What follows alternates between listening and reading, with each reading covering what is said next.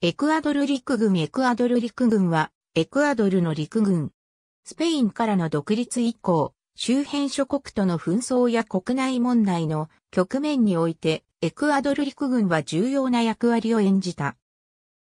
19世紀中央には、コロンビアやスペインとの紛争が起き、1883年の自由革命や1941年から1942年にかけてのペルーエクアドル戦争、1944年5月の放棄、1947年のクーデター、1963年のクーデターでは海軍提督の主導で1972年にもクーデターを起こし、隣国ペルーのベラスコ軍事政権に倣って革命的民族主義路線での統治を進めることとなる。1976年1月には海軍中将のブルバーノがクーデターを起こし、革命路線は放棄された。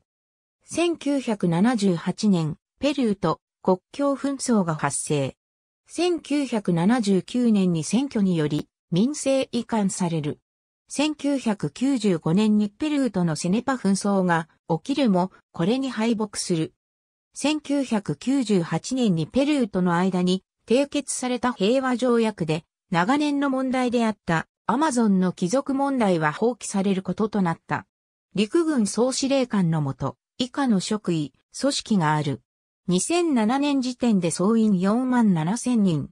地上作戦軍師団系統に属さない、旅団教育集団戦車総輪車装機車下砲ミサイル、固定翼機回転翼機、クリストファー・ラングトン、ミリタリー・バロンス2007、ラウトレッジ。ありがとうございます。